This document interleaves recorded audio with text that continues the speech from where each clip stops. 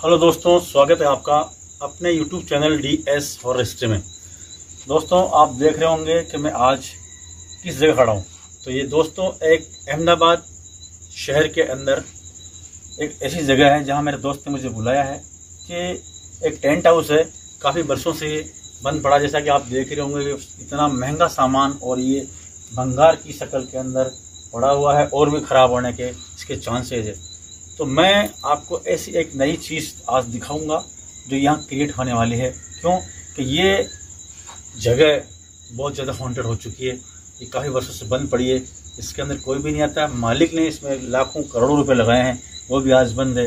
क्यों? कि यहाँ पे कुछ ऐसी पैरानॉर्मल एक्टिविटीज़ का अंदेशा है। ऐसा कहते हैं कि अंदर जाते हैं। सामान भी जो है ना पड़ा हुआ है ना, वो भी अपनी जगह ही पड़ा हुआ है। और रात होने के बाद के अंदर, इसके अंदर क्या होता है कि कुछ सामान इधर उधर गिरता है या कुछ भागता, दौड़ते नज़र आते हैं, लेकिन अभी तक हमें इस बात पे पहुँचे नहीं, क्या है? लेकिन हम आगे जाने की इसके अंदर वो हम इच्छुक तो हैं, लेकिन यहाँ के मालिक ने हमें मना किया है कि आप अपने रिस्क पे जाओगे। दोस्तों, हमने हमारा रिस्क रिस्क मतलब रिस्क ली है और अपनी खुद की रिस्क पे टीम को साथ लेके हम यहाँ आए हैं और आज हम देखते हैं, आप देखिएगा, हम यहाँ कुछ नया करने वाले हैं, वो आपको आगे दिखाया जाएगा।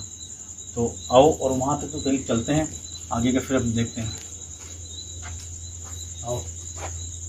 सावधान रहना, कोई आवाज़ तुम्हें आवे तो मुझे बताना। देख लो, सामान ये दिखा तो एक बार पूरा बंद तो पड़ा हुआ बिल्कुल ये पूरा पूरा सामान मुझे लगता है जहाँ तक एक करोड़ रुपए का सामान होगा। ये बहुत लंबा, कम से कम दो सौ फुट के अंदर ये टेंट हाउस है और ये बंद पड़ा हुआ है। जो सामान यूँ में पड़े आओ आ जाओ अब इसमें क्या एक्टिविटी होती है क्या नहीं होती है उसके बारे में क्या हम यहाँ पे आज कुछ ऐसी चीज़ करने वाले हैं। सीसीटीवी कैमरे के बारे में आप समझते होंगे तो आज हम यहाँ इसके अंदर फिट करेंगे।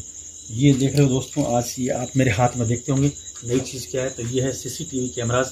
हम आप इसके अंदर फिट करेंगे और यहाँ की एक्टिविटीज़ जो भी होगी, इंशाल्लाह इसके अंदर कैद होगी, और हम इसको रात पर यहाँ लगाएँगे और यहाँ बैठे रहेंगे बाहर, और फिर आपको जो भी होगी इसके अंदर आएगी, बताई जाएगी। तो आगे चलें और इसको फिट करें, फिर करने की जगह देख लेते हैं।